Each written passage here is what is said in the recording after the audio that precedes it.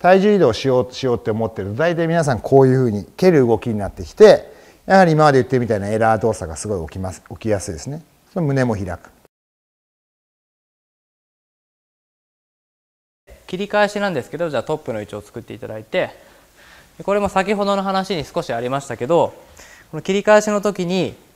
右のかかとが早く剥がれてしまって体が早く開いてしまうと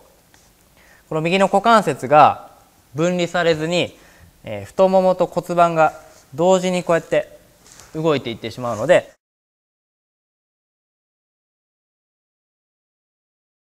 これは実際地面を踏んでる動きじゃなくて踏んだらここはある程度分離されるはずなんですね。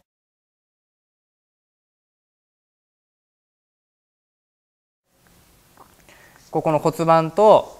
太ももの骨が別々に動くような状態これは下に矢印がある状態でこれでエネルギーがこっちに行くと